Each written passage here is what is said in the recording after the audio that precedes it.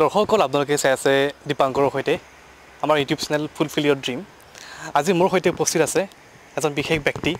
আমি দেখিছোঁ এইকেইদিন যথেষ্টখিনি ভাইৰেল হৈছে তেওঁৰ বহুকেইটা ভিডিঅ' মিমিক্ৰি কৰি পেলাই ইমান সুন্দৰভাৱে মিনিক মিমিক্ৰি কৰে হিমন্ত বিশ্ব শৰ্মাৰ পৰা আদি কৰি জুবিন গাৰ্গলৈ। আৰু সেইজন ব্যক্তি আজি মোৰ সৈতে উপস্থিত আছে। মই নামটো সকলোকে কৈছোঁ পুনৰবাৰ হিমাংশু বৰ্মন। হিমাংশু দা আপোনাক স্বাগতম জনাইছোঁ মোৰ ইউটিউব চেনেললৈ। নমস্কাৰ। আমি দেখি আছোঁ আপোনাক আপুনি আপুনি সুন্দৰভাৱে মিমিক্ৰি কৰি আছে। আপোনাৰ ইমান সুন্দৰ ভিডিঅ' ইমান সুন্দৰ মিমিক্ৰি ভিডিঅ' আপোনাৰ ভাইৰেল হৈ গৈছে। এৰাতিৰ ভিতৰত লাখৰ ওপৰত ভাইৰেল হৈ গৈছে। সুধিম সকলো কথা আপোনাৰ অসমৰ ব্যক্তিগত জীৱনৰ বিষয়ে জানিব বিচাৰোঁ। আপোনাৰ ঘৰ ক'ত আপুনি ক'ত পঢ়া শুনা কৰিছিলে আপোনাৰ ফেমিলিত কোন কোন আছে? মোৰ ঘৰ নগাঁৱত। মই নগাঁৱতে পঢ়া শুনা কৰিছোঁ gov boys higher secondary school আৰু college Nagaon college. B Ed কৰিছিলোঁ বি এড কলেজ। আৰু কে কে হেণ্ডিকতো পঢ়িছিলোঁ মই। সেইখিনি আৰু। ফেমিলিত কোন কোন আছে আপোনাৰ? মা আছে দাদা বৌ ভণ্টি ভণ্টি বাহিৰত আছে পঢ়ি আছে পি এইচ ডি কৰি আছে ইঞ্জিনিয়াৰিঙত আৰু দেউতাৰ কথাটো ক'বলৈ মই বেয়া পাইছোঁ বেছি দিন হোৱা নাই। দুমাহ হৈছে প্ৰায় দুমাহ তেখেত ঢুকাল যিয়ে নহওক মিমিক্ৰি আৰু আৰু আচল কথাটো মোৰ ৱাইফ বিয়া পাতিলোঁ। সেইটো ক'বলৈ থাকি গৈছে বহুত ডাঙৰ কথা হৈ যাব। নহ'লে ক'ব ইণ্টাৰভিউটো চাই পেলাই। তেখেতে টিচাৰ কৰে তেখেত তেখেত আছে ঘৰত। নহ'লে ইণ্টাৰভিউ চাই পেলাই গাই দিব আৰু। আৰে মোৰ নামটো কিয় নল'লা বোলে তুমি?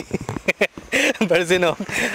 এই মিমিক্ৰি যিটো কৰে আপুনি কেতিয়াৰ পৰা মানে আৰম্ভ কৰিছিলে আপুনি কৰা? মিমিক্ৰিটো কেতিয়াৰ পৰা আৰম্ভ কৰিছিলোঁ সেইটো মই ঠিক মই নিজেই স্পষ্ট নহয় মই বেছিভাগ কথাতে মই স্পষ্ট কওঁ কিন্তু এই কথাটো মই স্পষ্ট ক'ব নোৱাৰোঁ। মিমিক্ৰি বুলি মই কিবা এটা কৰিম বুলি কৰা নাছিলোঁ কিন্তু কিছুমান মানুহৰ প্ৰতি কিছুমান এটা অনুসৰণ ফ'ল' কৰাৰ মানে কিছুমান হেৰি থাকে। নহয় তেনেকুৱা ধৰণে বস্তুবিলাক আগবাঢ়ি গৈ পেলাই ক'ৰবাত কেনেবাকৈ মানুহৰ জীৱনত সাংঘাতিক ধৰণৰ কিবা হৈ যায় গৈ পেলাই তেনেকৈ ক'ৰবাত ক'ৰবাত ওলাই পেলাই এনেকৈ আজি এইটো অৱস্থা পাইছে। মানে ক'ৰবাত ক্লিক হৈ গৈছে মানে আৰু সেইটো ক'ব লাগিব? তেনেকুৱা নিচিনাই আৰু। বাৰু যিয়ে নহওক আমি শুনিছোঁ আপোনাৰ জুবিনদাৰ ভইচ মানে বহুত সুন্দৰভাৱে দিব পাৰে। যদি এই মুহূৰ্তত এটা গান শুনিব পাৰোঁ সেই ব্যক্তিজনৰ ভাল লাগিব। হয় মই আহ, জুবিন দাই বেয়া নাপালেই হ'ল মই চেষ্টা কৰোঁ যিমানখিনি পাৰোঁ। ঠিক আছে। বহি লৈছোঁ অকণমান। ধুমুহাৰ সতে মোৰ বহু যুগৰে নাচোন। এন্ধাৰো সঁচা মোৰ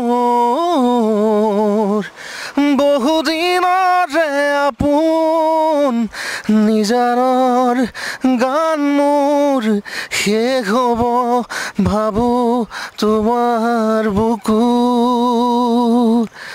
মায়াবিনী ৰাতিৰ বুকুত দেখা পালো তোমাৰ ছবি ধৰা দিলা গোপনে আহি হিয়াৰে কোন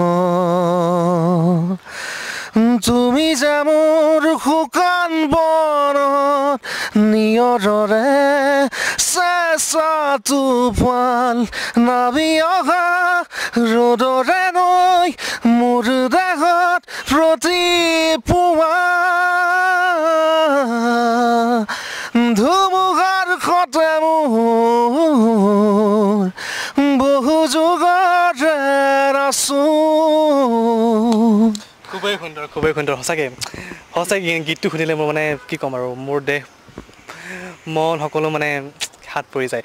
বাৰু জুবিন দা আপুনি অহাকালি শুনিছোঁ বানপীড়িত অসমৰ যিসকল বানপীড়িত ভুক্তভোগীসকলৰ কাৰণে তেওঁলোকৰ কাৰণে অকণমান কিবা ব্যৱস্থা কৰিছে খাদ্যৰ হওক ৰিলিফৰ ব্যৱস্থা কৰিছে শুনিছোঁ। আৰু ব্যৱস্থা এইবোৰ বহুত কিবা কিবি কৰি আছোঁ। এইটো গোটেই অসমৰ ৰাইজে জানে। আমাৰ ফ্ৰেণ্ডছ ক্লাববিলাক সৰু সৰু ল'ৰাবিলাক মোক বহুত হেল্প কৰিছে। সেইটো মই মৰম কৰোঁ। আৰু সিহঁতে অসমৰ ৰাইজৰ কাৰণে কাম কৰি আছে। এইটো বহুত ডাঙৰ কথা কিন্তু। সিহঁতে মোক ভাল পায়। এইটো মই যিটো কাম কৰিব দিছোঁ সিহঁতে সেইটো কৰি আছে। আৰু কলাগুৰু আৰ্টিষ্ট ফাউণ্ডেশ্যন তেওঁলোকেও মোক হেল্প কৰিছে। আৰু গোটেই অসমৰ ৰাইজৰ বানপীড়িতৰ যিখিনি সেইখিনি কৰি আছে। আৰু গোটেই মানুহখিনি একেলগ হওক। আৰু মই সেইটোৱে বিচাৰিছোঁ আৰু মই অসমৰ বানপানীৰ কাৰণে ইউ এছ এৰ পৰা গুচি আহিছোঁ। আৰু লগতো অকণ ওপৰত লোৱা। মই যিহেতু সোধা আপোনাক আপোনাৰ এখন বিশাল বাজেটৰ মুভি এখন আহি আছে আপোনাৰ কাঞ্চনজংঘা। অলপতে আপুনি মিছন চাইনাত সফল সফলতা লাভ কৰিছে। কাঞ্চনজংঘা বুলি ক'লে কি ক'ব আপুনি? কেনেকুৱা ধৰণৰ আপোনাৰ আৰু পৰিকল্পনা আছে প্ৰমোচনো আদি কৰি সকলো ক্ষেত্ৰৰ পৰা? এইটো এইটো কাঞ্চনজংঘা এইটো বহুত এটা সাংঘাতিক ধৰণৰ কনচেপ্ট ইয়াতে মন যায় ছেকেণ্ড পাৰ্ট বুলি ক'ব পাৰে।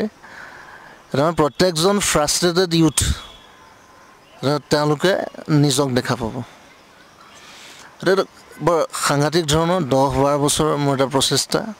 বহুত ডাঙৰকৈ কৰিছোঁ। সকলোৱে চাব খুব ভাল পাব।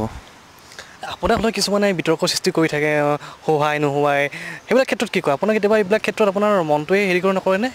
শুনিলে এইবিলাক বিতৰ্কৰ কথা শুনিলে? এতিয়া এইবোৰ এইবোৰ আননেচেচাৰী কথাত মোৰ ইমান সময় নাই।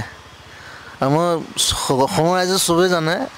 মই দিনত শুওঁ আৰু গোটেই ৰাতিটো কাম কৰোঁ। আৰু এইকেইদিন দিনতো খোৱা নাই। আৰু এইবিলাক কোনোবাই কিবা কৈছে এইবোৰ মোৰ একো আৰু অসমত মই নিজে কি কৰিছোঁ আৰু মুম্বাই গুচি আহিছোঁ। একমাত্ৰ অসমক ভাল পোৱাৰ কাৰণে আহিছোঁ।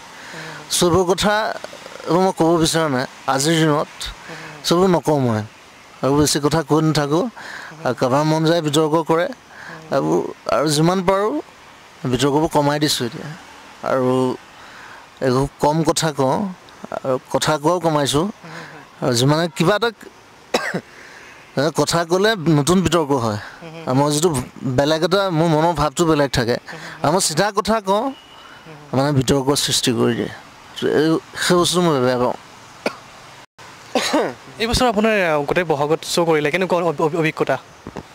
এইটো অভিজ্ঞতা আৰু এইটোতো ভালেই হ'ব।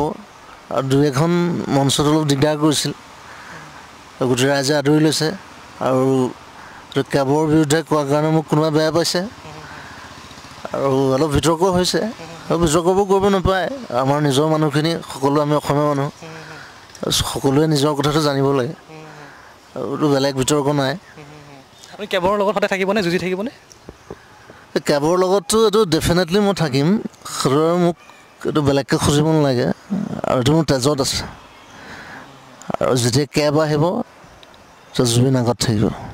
সেইটো মই অসমৰ ৰাইজক সেইটো মোৰ কমিটমেণ্ট সেইটো তুমি চিন্তা কৰিব নালাগে।